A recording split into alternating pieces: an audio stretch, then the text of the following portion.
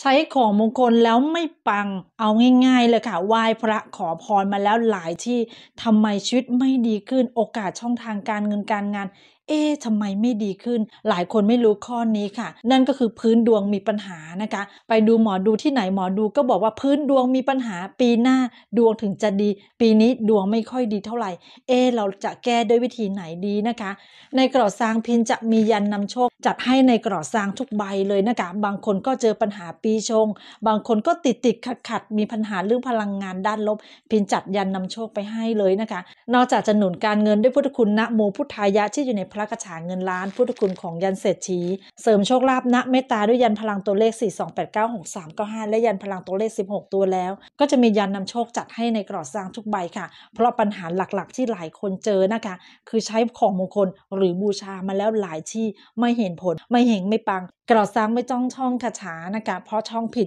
ความหมายก็เปลี่ยนบางคนช่องแล้วจิตไม่นิ่ง จิตไม่มีกำลัง เลยทำให้การขอพรหรือการบูชาของมงคลของเราไม่ค่อยเห็นผลนะคะ แต่พินจะขออนุญาตให้ใช้เคล็ดลับเปลี่ยนดวงการเงิน ที่จะจัดส่งให้ไปพร้อมกับกระเป๋าสร้างศาสตร์ตัวเลขทุกใบเลยค่ะ